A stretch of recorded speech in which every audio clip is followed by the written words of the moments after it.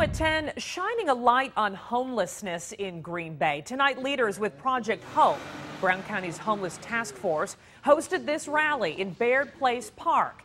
They lit more than 400 luminaries representing each homeless person in the city, a visual way to raise awareness of the growing problem. When people are homeless, those are people who can't contribute their gifts and their talents to the community.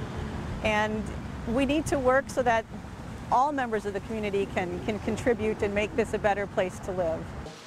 Leaders with Project Hope are also circulating a petition asking the city to adopt its own 10 year plan to end homelessness in Green Bay.